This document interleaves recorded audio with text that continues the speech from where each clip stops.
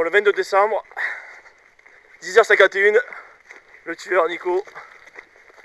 Il n'y a pas de. Regarde ça?